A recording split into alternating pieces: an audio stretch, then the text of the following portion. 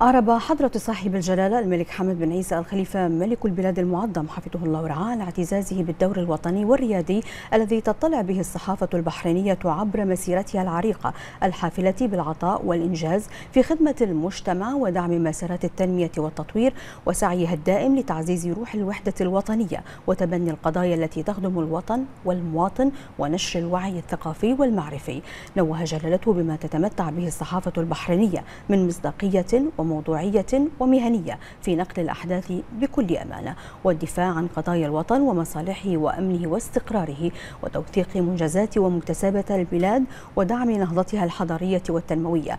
جاء ذلك خلال استقبال حضرة صاحب الجلالة الملك المعظم حفظه الله ورعاه بحضور سمو الشيخ عبد الله بن حمد الخليفة الممثل الشخصي لجلالة الملك المعظم وسمو الشيخ ناصر بن حمد الخليفة ممثل جلالة الملك المعظم للأعمال الإنسانية وشؤون الشباب في قصر الصافري السفرية هذا اليوم أعضاء مجلس إدارة جمعية الصحفيين البحرينية برئاسة السيد عيسى الشايجي بمناسبة تشكيل مجلس الإدارة الجديد للجمعية بعد فوزه في انتخاباتها الأخيرة.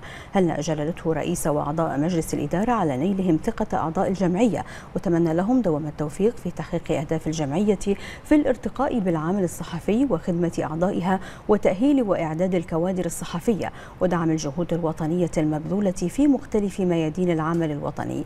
أكد رعاه الله دعمه ومساندته لجهود الصحفيين والإعلاميين في القيام بدورهم وتأدية رسالتهم النبيلة من أجل رفعة الوطن ورقيه وتقدمه ومواكبة إنجازاتنا الوطنية.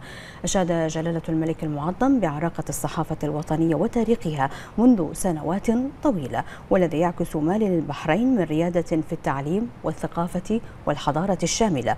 مؤكدا حرصه الدائم على كفالة حرية الرأي والتعبير والتي تعتبر العامل الأبرز أبرز في ازدهار الصحافة في البحرين وتطورها.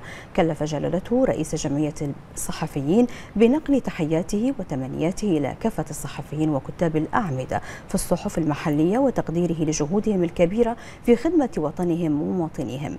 من جانبه أعرب رئيس جمعية الصحفيين البحرينية عيسى الشاجي عن خالص الشكر والامتنان لحضرة صاحب الجلالة ملك البلاد المعظم حفظه الله ورعاه على تفضل جلالته حفظه الله ورعاه باستقبال رئيس وأعضاء مجلس إدارة الجمعية مما يعكس بجلاء المكانة المرموقة والهامة التي تحظى بها الأسرة الصحفية والإعلامية البحرينية.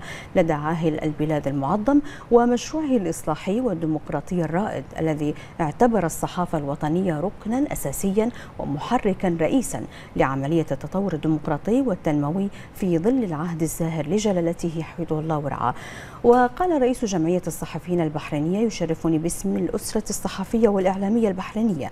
أن أرفع عظيم الشكر والامتنان لجلالته حفظه الله ورعاه على مساندته الكبيرة للصحافة والإعلام وتوجيهاته الكريمة بتوفير كافة الضمانات لحرية الرأي والتعبير وتهيئة كافة الأجواء لأصحاب الرأي والقلم لأداء دورهم في نشر الوعي والمعرفة مؤكدا أن الأسرة الصحفية والإعلامية البحرينية ستكون على الدوام شريكا أساسيا في مسيرة النهضة العامرة بقيادة جلالته حفظه الله ورعاه.